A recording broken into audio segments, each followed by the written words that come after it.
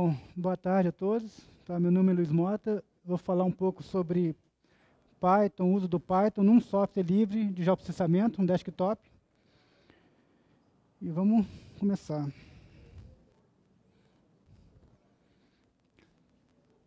É, as três primeiras tópicos, né, vou falar um pouco do inserir vocês nesse contexto, um pouquinho político, um pouquinho de conceitual, para depois a gente mostrar mesmo um código e como é que esse Python está dentro do QGIS. Fazer uma apresentação pessoal. É, o comecei no mestrado, depois passei em algumas empresas, trabalhei no zoneamento agroclimatológico no Embrapa, monitoramento de florestas de Minas Gerais, e no, no IBAMA, que é o, o, lugar onde eu trabalho, né, tem 10 anos que eu estou no IBAMA. 2010 foi um ano bem, bem interessante, que é onde eu comecei a engajar mesmo em Fosfogir, que é software livre na área de processamento. E colaborei com o código do Quantum GIS. Programação. Tá? É, Basic, acho que é a primeira linguagem, né? Isso há uns 20 anos atrás, eu fiz com a técnica de computação, então a gente aprendia Basic. E é engraçado que eu continuo ajudando o pessoal que trabalha no INCRA, né? E a gente faz a planilha, né? Depois vocês vão ver na próxima apresentação que eu usei o Basic, né? Apesar de tudo, está lá o Basic, somente em planilha eletrônica a gente usa Basic, né? é mais fácil, né? Está lá embutido. VB, VBA, isso aí eu usei muito num, num, software proprietário, né? Foi até cômico, porque eu fiz um, um script, né, num site da ESA, né, um site muito famoso na área de geoprocessamento, e eles tiraram VBA, né? E aí o meu script parou de funcionar, e as pessoas mandem, mandam e-mail para mim, eu falo, não, usa um software livre que é melhor do que o próprio ArcGIS para isso. Né, que a gente fez um trabalho que ele traz um resultado bem melhor. É, C++ e Python. Tá? Eu trabalho nesses dois mundos e tem umas coisas bem legais em Python. Né? Vou fazer uma brincadeira aqui, vou mostrar o que é um código em C++ e o que, que isso te traz em termos de custo de desenvolvimento. A grande pergunta, por que, que eu uso Python? Porque o que eu penso eu escrevo. Eu não fico... É, dependendo da linguagem, você tem que entender muito a linguagem. A linguagem é cheia de macetinho, né? E o Python é direto, né? Você está pensando na lógica e está escrevendo. Então não te amarra muito quando você precisa ter produtividade, tá? É, geoprocessamento, tá? GIS, né? Eu estou usando a, a, sigla em inglês, né? Geographic Information System. Lá fora, gente, nos cursos é dado mesmo, tá? Tem até um exemplo aqui, né? De um professor falando da, somente essa questão do, do usuário avançado, né? Isso aqui no Brasil a gente está muito no começo mesmo. Tá? As escolas não ensinam isso, é difícil eu ver. Então, isso é uma coisa ainda a ser conquistada. Tá? O que mais? Tá, é, binding para Python. Né? Você tem um software, quer fazer um script para ele, isso tem, usado, isso tem sido uma realidade. Tá? Você tem software livre, até mesmo os proprietários. Né? Hoje é, é bem comum isso as empresas estão colocando o Python como a linguagem de script para as suas plataformas.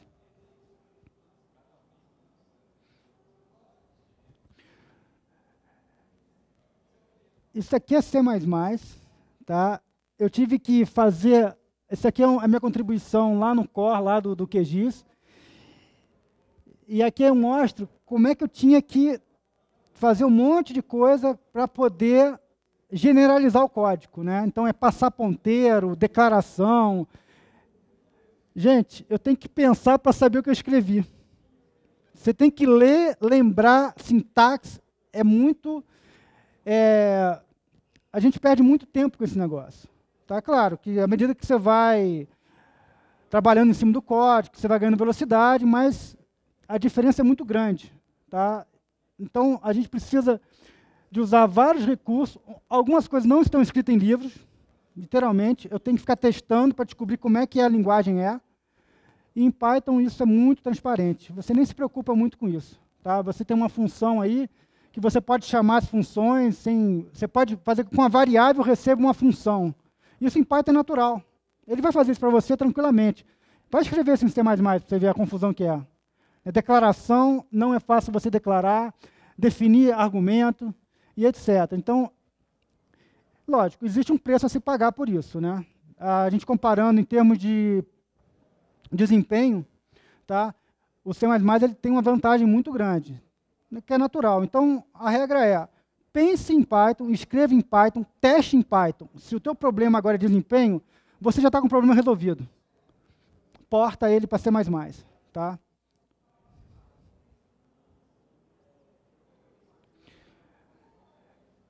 Vou falar um pouco dessa, dessa escolha que a gente fez. Né? Eu trabalho no governo. Eu tinha, é, em 2010 eu participei de um projeto grande, o Terra Legal, que é a parte de regulação fundiária da Amazônia. E na época tinha aquela coisa, vai usar software proprietário, vai usar software livre, e a gente optou por software livre e começamos a mexer. E aí apareceu um plugin que para a gente foi extremamente importante, que ele permitiu colocar as imagens do Google. Então a gente tem um levantamento feito com equipamento geodésico. Como é que você, tinha, como é que você ia avaliar se aquele levantamento estava correto? Como é que a definição do limite estava correta? E aí a gente começou a usar as imagens de alta resolução do Google. Tá? Foi uma experiência bem legal, foi o que a gente chama de da surpresa. Por mais que acreditasse no software livre, a gente nunca ia imaginar que apareceu um negócio desse jeito. Esse código, ele, eu colaborei, porque quando a gente foi usar ele dentro da nossa rede, não funcionava. E como eu já tinha trabalhado em alguns outros plugins, era problema de proxy, e aí eu implementei o proxy dentro desse, desse, desse plugin. E aí comecei a ajudar tá, desse plugin. Isso funcionou legal, né, deu um resultado bem, bem interessante na época. E isso também, em 2011, foi usado numa ajuda, foi usado no tsunami do Japão. Tá? É, eu tive no Japão em 2010 para dar palestra né, pela comunidade da USGEL de lá. Claro, você conhece as pessoas e tal. E no início de janeiro, aquele tsunami, aquela loucura toda, eu no Skype conversando com os colegas, perguntando como é que estava, e eu falei, cara, o que você precisar, eu faço. Tá bem voluntário mesmo. E aí um dos japoneses que estava em Seattle, ele, é, ele, trabalha no departamento de geografia de uma universidade americana, ele falou, Luiz, olha, não usa, a gente usa muito o Bing. Bing é o provedor de mapa da Microsoft. E o, na época o OpenLayers não fazia isso, ele não aceitava o serviço do Bing. Dois dias ele foi implementado isso. Tá? E é engraçado, porque eu pego as datas, é um, o hoje é o amanhã deles, né? Eles são uma, um, 12 horas na sua frente, né? Então não dava para saber exatamente quanto tempo eu levei. Mas, assim, menos de dois dias, tá? Em dois dias foi implementado, e aí eles começaram a usar o Bing. O que acontecia? Eles tinham as imagens direto do ALOS, né? um satélite japonês, só que como é que era isso antes? Porque eles viram tudo destruído. E quem é que estava lá? Como é que era? Quantas casas tinham e etc. E aí, através do Bing, eles conseguiam ver isso, né? então comparava. Então, aqui é o roteiro, mais ou menos, né? ele agradecendo, né, falando que está funcionando direito e tal. E aqui a rede. Né, o Pirmin ele é da Suíça, né, ele foi o criador do Open, do. O Wash é o cara, é, o Wash é o tradutor do QuantumGIS, que colocou na rede lá do QuantumGIS, que estavam usando ele para trabalhar na, na, nas ações de mitigação. E aqui começou a circular na Open, no OpenStreetMap do Japão, tá, que um outro, outro programa é, é um, é um projeto né, de rede social de informações geográficas e a OS ao Japão. Então, todo mundo ficou sabendo, usando e etc. Isso foi uma coisa bem legal, porque isso gerou também reflexo. Né? E numa apresentação feita na Coreia, na, no Fósforo da Coreia, eles colocaram a importância agora de eles trabalharem aberto a outras comunidades. Porque até então, nos outros trabalhos, não tinha isso. Então, eles se preparando agora para desenvolver trabalhos que possam aceitar contribuições de fora. Isso tudo aqui também foi aplicado, hoje a gente aplica isso dentro do IBAMA. Tá? É, a gente, o Ministério do Meio Ambiente comprou todas, é, fez o, uma compra muito grande de imagem de 5 metros de resolução da RapidEye, Brasil inteiro. E isso, para você colocar num desktop GIS, o custo é grande, né? Se adicionar raster e tal. E aí, eu peguei a estrutura desse plugin, e fiz, fiz um específico para isso. Então, a pessoa está trabalhando, você não precisa adicionar uma imagem, a imagem chega até você, esse conceito on the fly. Onde você tiver, a imagem vem, a lá Google, né? Você não precisa adicionar nada, você está paginando, a imagem está chegando. Isso foi feito com as RapidEye. Isso está interno, né? falta melhorar algumas coisas, para que a gente possa depois disponibilizar isso, né? tecnologia de você pegar um TMS, como é que você coloca um TMS no ar, né? como é que você coloca um, é, uma base muito grande de imagens, são mais de 17 mil imagens, para vocês terem ideia. Tá? É muita imagem, e você tem que administrar ela, a gente fez um trabalho para publicar isso, né? sem precisar de um servidor rodando, é tudo em arquivo, e ao mesmo tempo, no lado do cliente, no lado de um desktop disso, como é que você acessa ela sem precisar saber onde é que ela está. Tá? Então ela vem até você.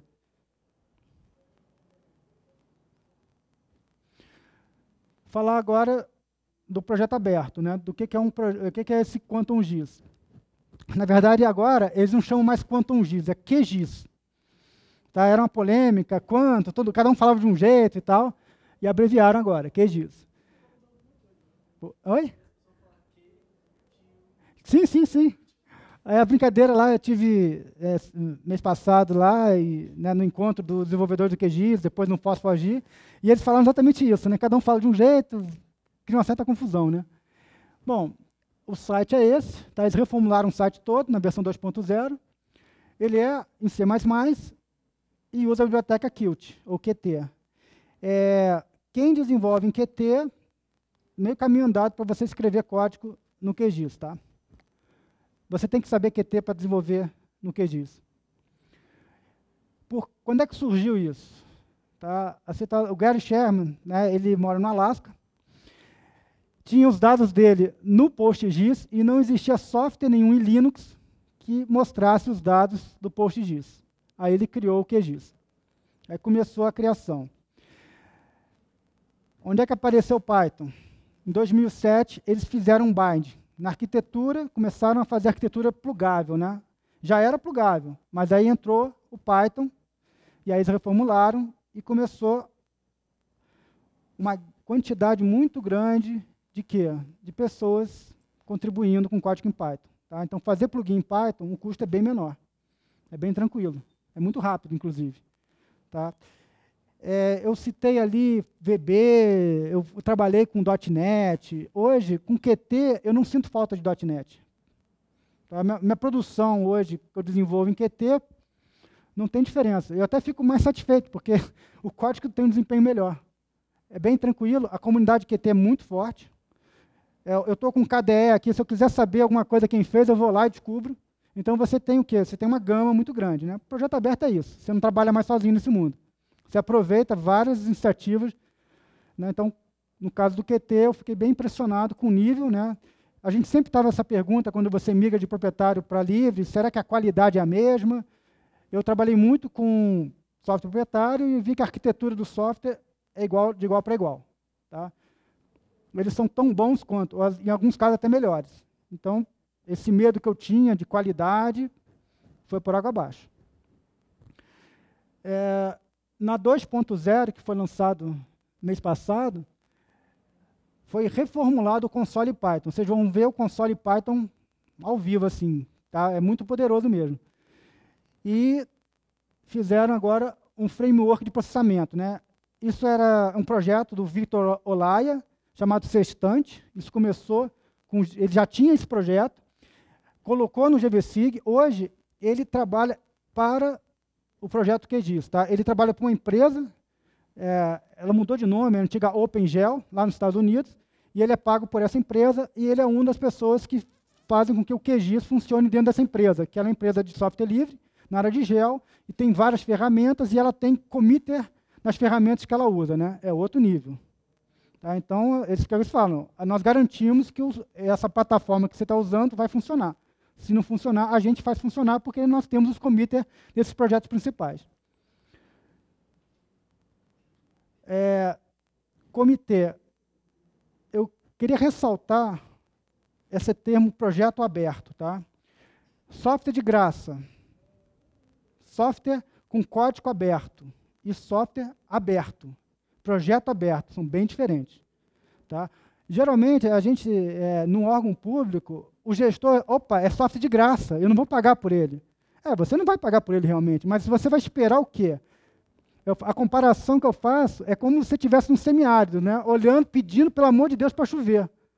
Vai chover um pouco. Agora, por que você não irriga? Por que, que você não investe no software? Por que, que você não investe em comunidade? Aí você não precisa olhar para o céu. Você vai ter o quê? A irrigação. Vai fazer uva no São Francisco. Isso foi feito. Tá? Então, projeto aberto é isso. A gente precisa disso. E o aberto é quando você tem um comitê que aceita as pessoas, independente de onde elas são.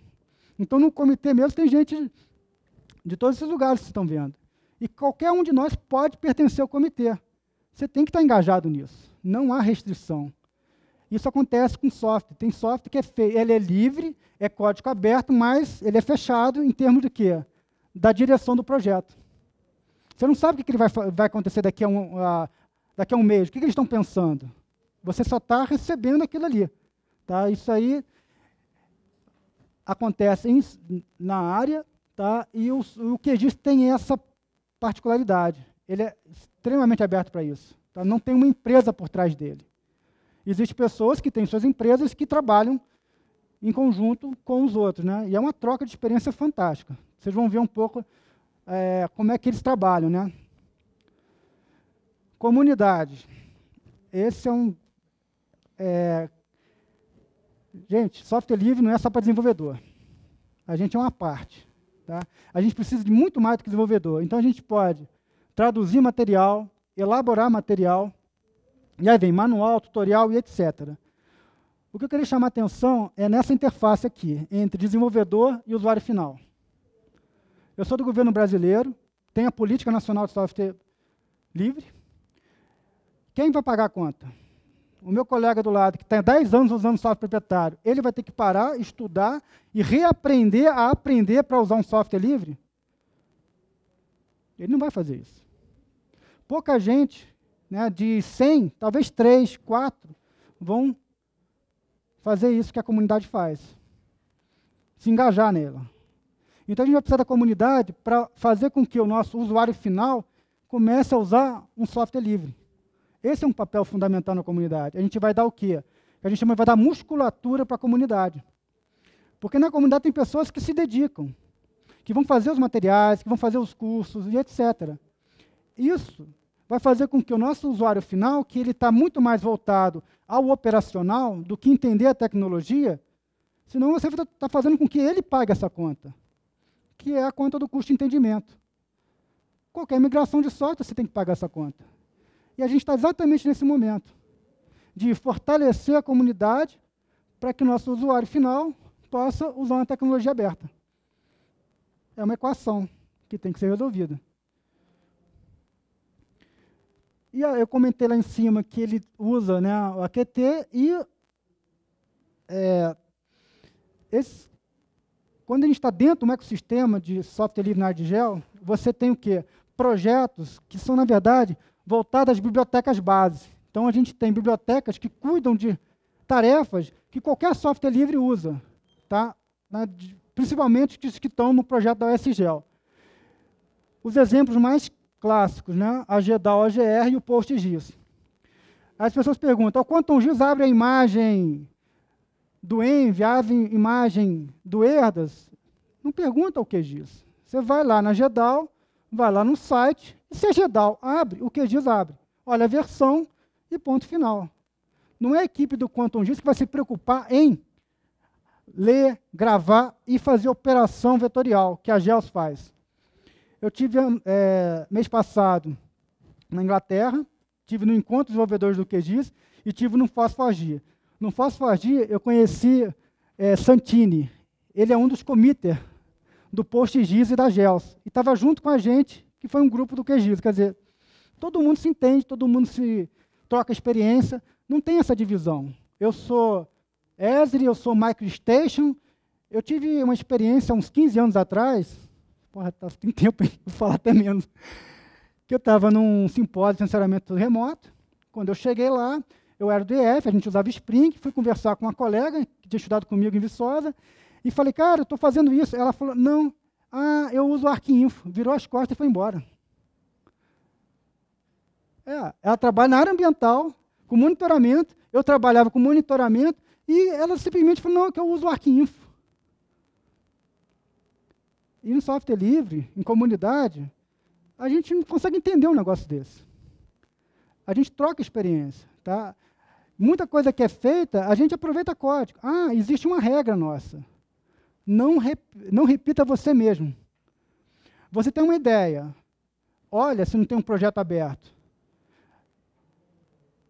Vai implementar no teu software, vê se um projeto que ele usa não está implementado. Não está implementado, sai do QGIS, vai lá na GELS ou vai na GEDAL e faça.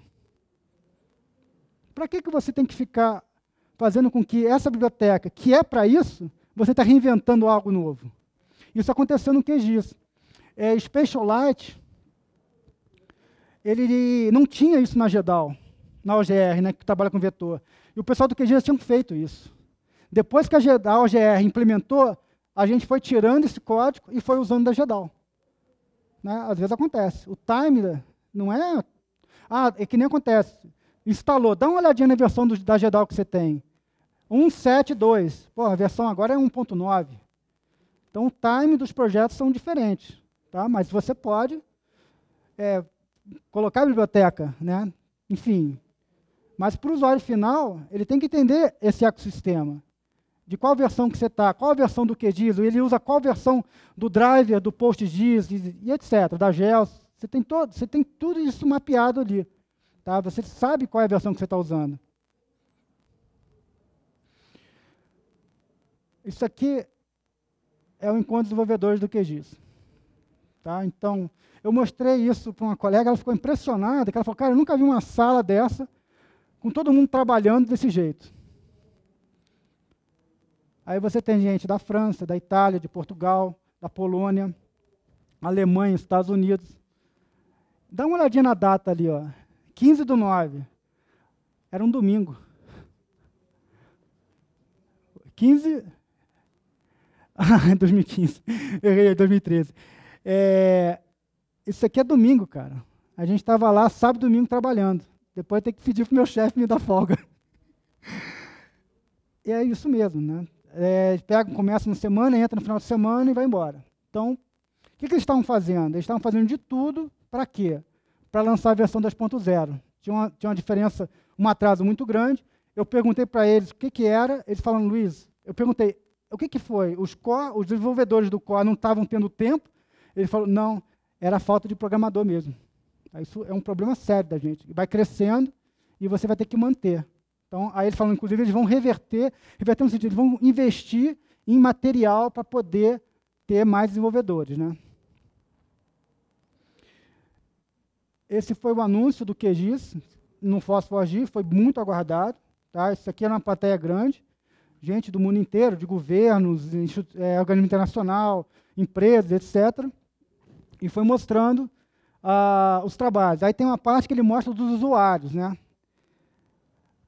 Isso aqui foi um projeto que a gente, eu comecei, foi em 2011, é o Incluigel, eu estava cedido à presidente da República, trabalhando no CIPAN, Centro de Proteção da Amazônia, e lá teve o Incluigel. Então a gente levava uma tecnologia de geoprocessamento para a Amazônia. Tá? Isso foi em Lábrea, isso aqui era uma reserva, isso aqui é uma reserva extrativista, então a gente estava ali do lado desse pessoal que protege a natureza. Tá? Esse cara aqui estava ameaçado de morte, inclusive.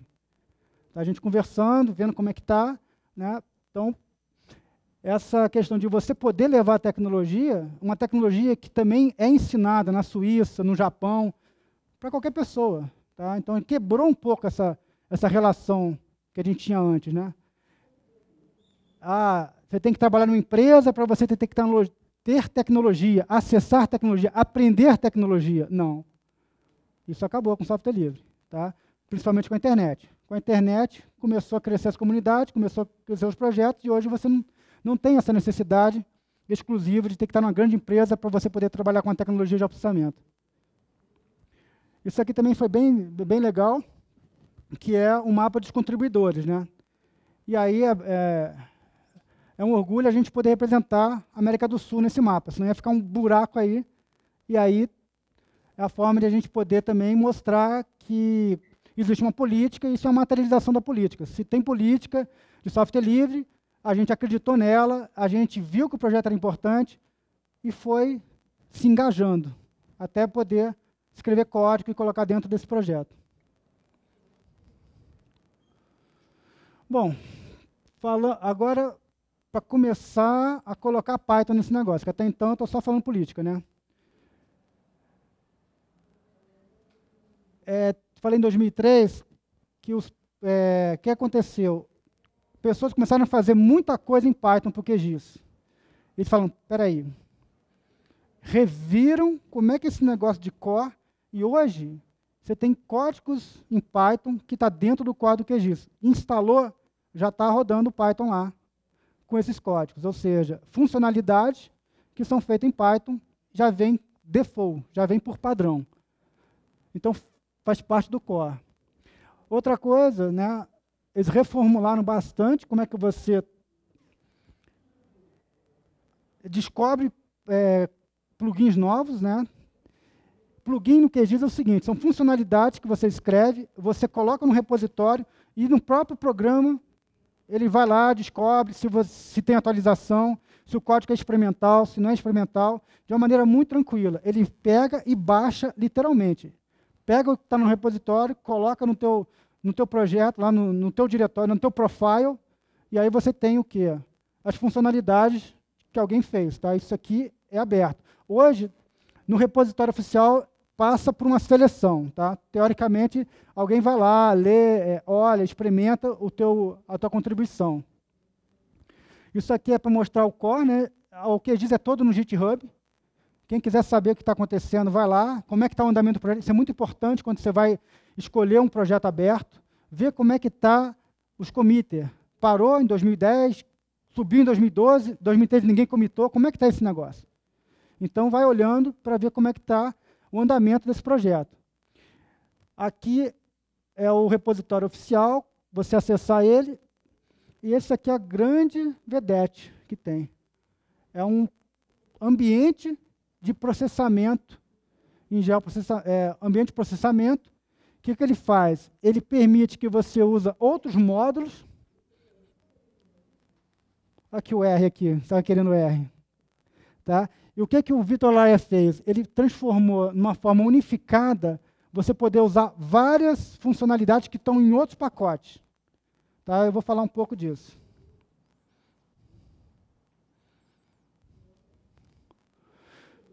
É, onde é que o Python, você pode usar Python dentro do QGIS? Você tem uma camada, bom, aqui deve ter algumas pessoas, eu conheço uma, uma parte delas, né? tem pessoas que talvez nunca... Quem é que nunca viu nada de geoprocessamento aqui? Todo mundo já mexeu com gel? Beleza? Então, uma camada vetorial. O que, que você pode fazer agora? Você pode escrever um código em Python, definir uma ação. A pessoa vem, escolhe uma feição, os dados, os atributos dessa feição, elas podem ser passadas para o código. E aí você pode fazer o que você quiser e além da sua imaginação. Porque o que eu fiz aqui? Eu importei uma biblioteca só para mostrar uma mensagem. Eu poderia importar uma biblioteca qualquer. Eu poderia fazer processamento com outra biblioteca. Eu poderia fazer o que quiser. Tá? Então, o que, que, a gente, que, que aconteceu? Através de ação, está dentro de, um, de uma propriedade da camada vetorial, você pode usar código nela. Me chamaram tem cinco minutos, mas o cara que estava na minha frente gastou dez, tá? Bom, expressões de campo. Eles reformularam esse negócio todo. O que, que você pode fazer? Expressão é isso aqui. Tá? Isso aqui é bem novo, gente. Isso aqui é, não, não tinha na versão anterior. Tinha um pouco lá, mas aí eles ampliaram bem. Você pode agora criar uma função nova colocar num diretório, tá? foi o que eu fiz aqui, eu fui no meu diretório lá, coloquei o nome da função, eu abro o console Python, importo essa minha função, aqui está ela, tá? o que, que você faz então? Você, através da expressão, você pode usar ela. Eu, e aqui eu usei para quê? Para selecionar. Selecione os polígonos que têm menos de 10 vértices. Não estava implementado isso. Criei, um arquivozinho, importei ele, está aqui o fonte, e agora ele entrou dentro da expressão. E eu posso fazer isso para selecionar, para criar um valor novo no campo. tá? que é o Field Calculator. Né? Você pode criar um campo, popular esse campo através de uma função que o software não fazia. Tá? Só que isso aqui é um pouco árduo, né? não é todo mundo que tem essa habilidade ou não, mas aqui é uma palestra de Python. Tá? Então, tá aí o convite para vocês fazerem. E é isso que o Nathan, que é o mentor dessa função QExpression, fez. O que, que ele fez? Ele fez um negócio mais interessante ainda. Ele fez um plugin, tá? e ainda fala assim, olha, contribuidores são bem-vindos. Então, em vez de eu chegar e fazer para olhar para o meu bigo e resolver meu problema, o que, que eu faço? Eu venho, escrevo a função, testo, vou lá no GitHub, abro um fork, coloco isso, mando para ele, ele vem e fala, beleza. Ele sai com a versão nova e na versão nova vai aparecer lá no changelog que você adicionou uma nova, uma nova funcionalidade. Aí o nosso usuário final vai ficar feliz da vida. Ele vai atualizar o plugin e vai aparecer uma função nova aqui.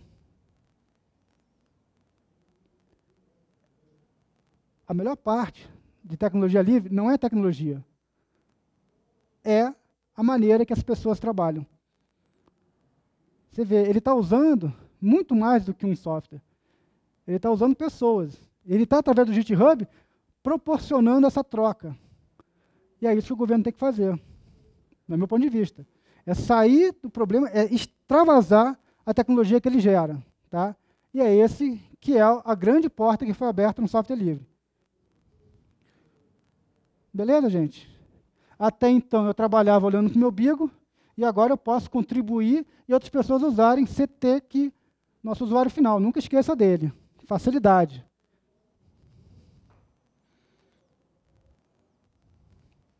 Console Python. Vamos lá. Então eu tenho aqui, você pode acessar qualquer objeto instanciado no projeto do CantonGIS. Que diabo é isso? O que você tiver, você quer saber qual é o zoom que está, você quer saber qual é a, é a, coordenada, a extensão de coordenadas que você tem na sua janela. Você quer saber o que, que, seu, o que, que sua camada tem, quais são as feições selecionadas o que você quiser. Tá? Então, através do console, você vem e calcula lá quantas feições estão selecionadas, etc. E o que ele faz é muito interessante. Ele botou, é, sem, é, é ele usou uma biblioteca para fazer o quê? Para você ter o autocomplete aqui, ó. Tá? Então você ponto, tá? Né? Coloca aqui. Ah, eu quero importar uma biblioteca. As mais comuns. Você quer configurar, inclusive, o doc das APIs que você quer. E tem mais um bocadinho de coisa.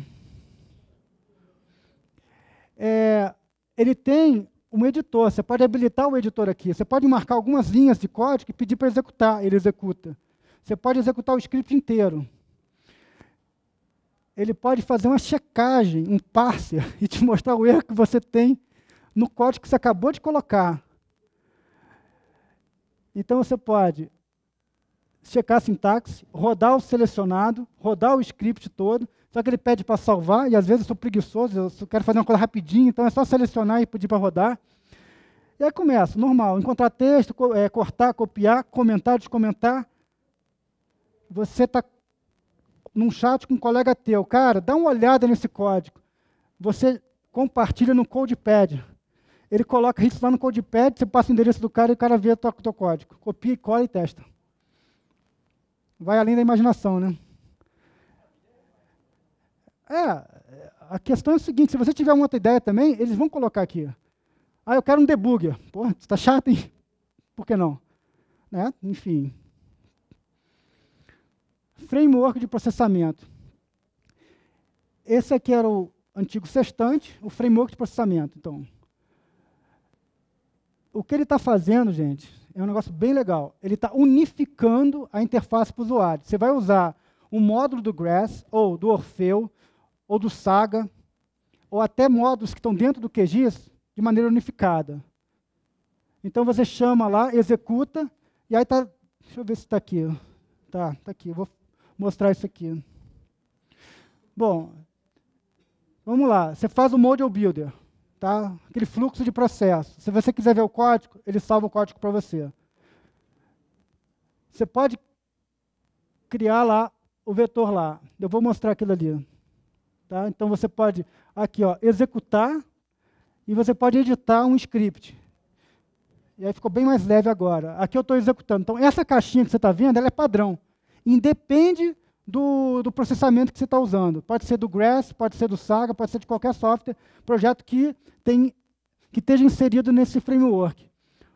Isso aqui é padrão e aqui é o script. Então ele já facilitou a tua vida. Então ele chama e aqui ele fala, olha, eu vou usar o create grid do QGIS. Aqui poderia ser uma função feita no Grass, botaria Grass, dois pontos, nome da função. É isso que ele fez. Alguém já mexeu com Grass aqui? É, Grass, bom, o pessoal já sabe, 30 anos que tem Grass, tá? ele tem muita coisa, e é difícil você mexer? Claro que é difícil você mexer, porque é um outro software, ele é antigo. E o que, que o Vitor Olaya fez? Simplificou a vida do usuário. Agora, para você mexer, dá uma olhada no Grass primeiro, tá? Senão você fica totalmente perdido. Então a ideia é, veja aprenda e no teu dia a dia usa o QGIS. Plugin Python. Você tem uma estrutura de arquivos e diretórios. Né? O nome do diretório é o nome do teu plugin.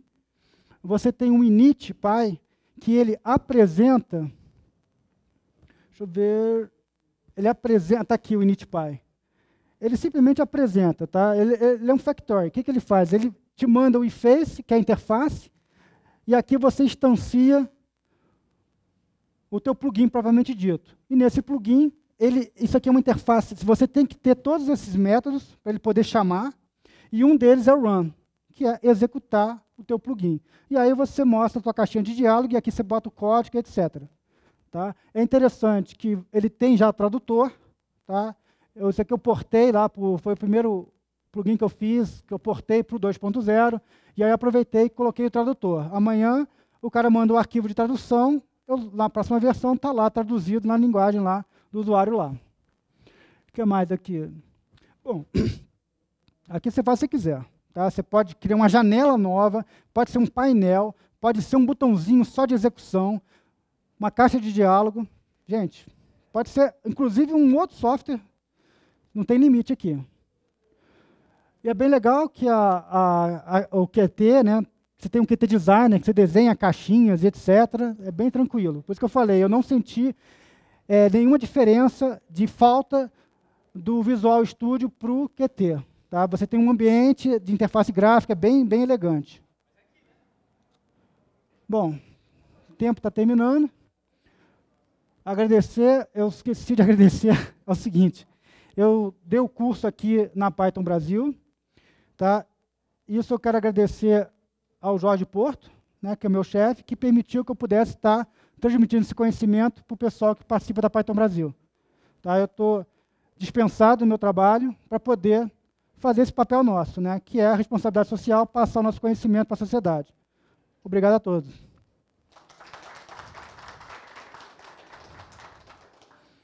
Alguma pergunta? Pois não?